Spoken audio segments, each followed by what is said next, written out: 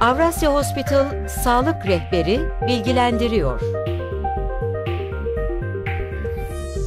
Hiçbir şey insan ve sağlık kadar önemli değildir. Öncesinde gebelikte şeker nedir? E, neden şeker hastası oluyoruz? Evet.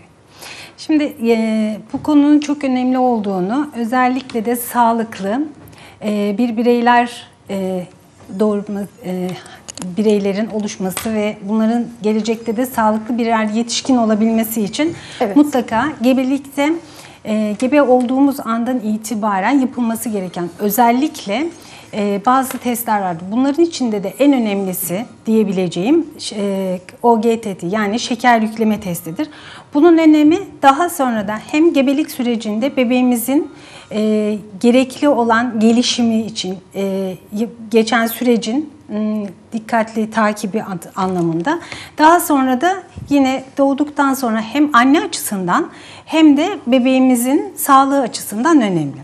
Şimdi biz e, gebelikte şeker yükleme testini özellikle 24 ve 26, 28. haftalarda e, yapılması gereken e, sürede ne yapıyoruz? Biz e, gebelerimizi hastanemize davet ediyoruz ve onlara ilk önce 8-10 saatlik açlıktan sonra e, açlık kan şekerine bakıyoruz. Bu açlık kan şekerinin normalde diyelim ki sağlıklı bir bireyde bizler en fazla daha önceden 110 miligram bölü desilitre olarak kabul edilen bu e, şeker düzeyinin e, en fazla e, 105'e kadar, 100'e kadar çıkar, çıkmasını bekliyoruz. Ama biz gebelerde bu süreçte mesela açlık kan şekerinin 126 miligram bölü desilitrenin üzerine çıkması. Daha sonra şeker yüklemeden sonra birinci saatinin 140 miligram bölü desilitrenin üstüne çıkması.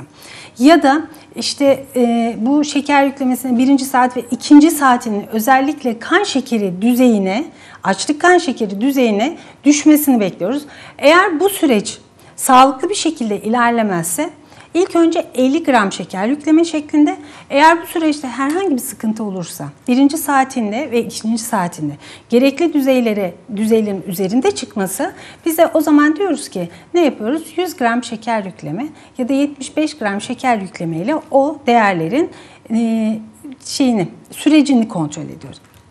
Bizler bunu niçin yapıyoruz? Şimdi özellikle gebelik sürecinde e, bebeğin e, mesela bazı ailelerde şöyle der. Aa bebeğimiz e, tosun gibi doğdu, tombul doğdu.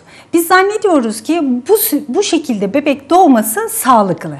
E, yani anne karnında iyi beslendiğini zannediyoruz. Ama bu eğer şeker hastasıysa anne maalesef hani kof bebek dediğimiz e, sağlıksız bebeklerin e, doğmasına sebep oluyor. Bu nedenle bizler şimdi gebe kaldığımızda ilk önce açlık, kan şekeri, e, Mesela özellikle sarılık testlerinin de çok önemli olduğunu özellikle belirtiyorum. İşte HBsAg dediğimiz e, sarılık testlerine bakılmak, tam idrar tahliline bakılması. Eğer kansızlığı varsa yine bu gebelik sürecinde annenin e, bebeği yeterince besleyebilmesi için e, karnında e, ne olacak? Bunun e, hem kan hemogram düzeyine de bakılması gerekiyor. Bu böyle ya ve açlık kan şekerine baktığımızda eğer 100 miligram bölü desilitrenin üzerine çıkmışsa o zaman bir kere her ay kadın doğum e, hekimlerimize gelen bu gebelerimiz ne yapıyor?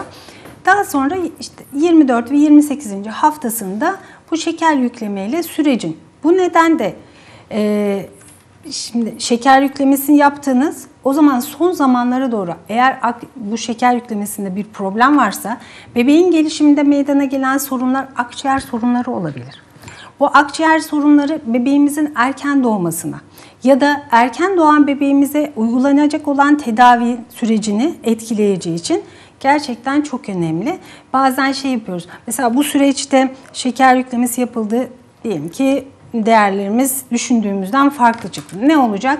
Bu tedavi sürecinde bazen insülin kullanılması gerekiyor. Gebelerimiz hemen bu konuda şey defansif davranıyor. Yani ben şimdi insülini kullanacağım. Eğer başlarsam devam mı edecek? Ve bu süreçte ilk önce bebeğimize olan sorumluluğumuza e, olduğunu düşünerek neler yapmamız gerektiğini hekimlerimizin diye e, diyetisyenimizin e, ortak ve ben bazen şöyle de diyorum şeker hastası olan e, insanların bir e, takım ruhuyla hareket etmesi gerekiyor. Eğer şeker hastası olmuşsanız bu süreci uzun vadede tek başınıza başaramayacaksınız. Bunun için de gerekli olan e, süreçte yani sizin tedavi sürecinizde ya da yaşamınızın kaliteli olabilmesi için ne olacak? Bu ekipteki herkesin birbiriyle korele bir şekilde hareket etmesi gerekiyor.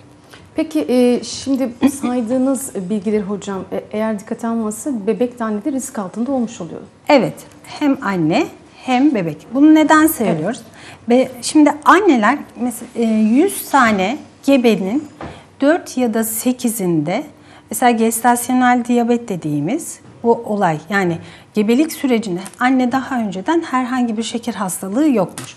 Ama ne oluyor? Gebelik sürecinde e, şeker düzeyi yüksek çıkarsa o zaman bu süreçte gerekli tedaviyi uygulamazsa ne olacak? Gelecekte anne bir şeker hastası adayı olacak. Bu çok önemli. Yani Türkiye'de ya da dünyada diyelim 100 tane gebede 4 ya da 8 tanesinde bu risk varsa ve eğer gerçekten süreç şey yapılmamışsa, düzgün takip edilmemişse o zaman ne olacak?